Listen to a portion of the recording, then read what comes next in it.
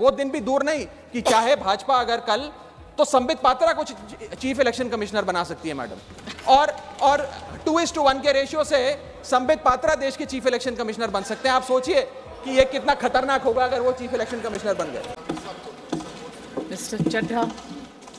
Mr. Chadha.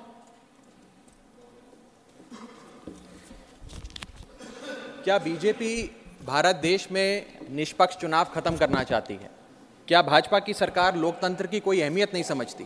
क्या भाजपा की सरकार के लिए संवैधानिक संस्थाओं की कोई अहमियत नहीं है? क्या भाजपा सरकार हर संवैधानिक संस्था को अपनी कठपुतली बनाना चाहती है? क्या भाजपा सरकार सुप्रीम कोर्ट के फैसले की कोई सम्मान नहीं करती, उसकी कोई अहमियत नहीं समझती? ये कुछ सवाल हैं जो बिल पढ़ने के बाद मेरे जहन में आए और वो इसलिए आए क्योंकि इस बिल के माध्यम से ये सरकार चुनाव आयोग को पूरी तरीके से अपने नियंत्रण में लेना चाहती है, यानी कि चुनाव आयोग पे पूर्ण कब्जा चाहती है। ये बिल तीन व्यक्ति या संस्था का अपमान है। पहला अपमान है सुप्रीम कोर्ट का। क्यों? क्योंकि सुप्रीम कोर्ट ने इसी साल, मार्च सेकंड को 2 मार्च 2023 को, पाँच जजों की संवैधानिक पीठ ने सर्वसम्मति से एक फैसला दिया। और वो फैसला यह था कि सरकारी हस्तक्षेप, सरकार का कोई भी दखल चुनाव आयोग की नियुक्ति में नहीं होना चाहिए, ये खत्म करने के लिए हम एक समिति का गठन करते हैं।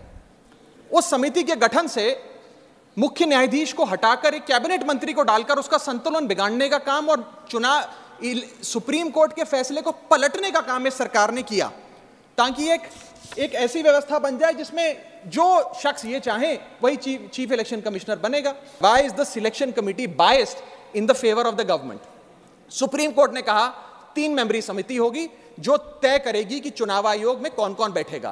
प्रधानमंत्री, लीडर ऑफ़ ऑपोजिशन और चीफ जस्टिस ऑफ़ इंडिया। इसमें से चीफ जस्टिस ऑफ़ इंडिया को निकाल बाहर कर कर, एक कैबिनेट मिनिस्टर को इसमें डालकर पूरा नियंत्रण सिलेक्शन समिति का इन लोगों ने बिगाड़ दिया, जिसके चलते आज इस समिति में सरकार के पास दो वोट हैं। टू इज़ टू वन से सारे फैसले मेजोरिटी से सरकार ले सकती है। इसमें सर्वसम्मति से फैसला नहीं लेना यूनानिमिटी से फैसला नहीं लेना सरकार चाहे तो टू इज़ टू वन से कोई भी फैसला ले सकती है, यानी कि सारा नियंत्रण।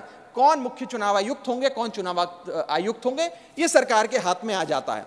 और ये एक ऐसी व्यवस्था बनाता है कि एक पार्टी मैन एक यस मैन चुनाव आयुक्त बन सकता है। वो दिन भी दूर नहीं कि चाहे भाजपा अगर कल तो संबित पात्रा को चीफ इलेक्शन कमिश्नर बना सकती है, मैडम।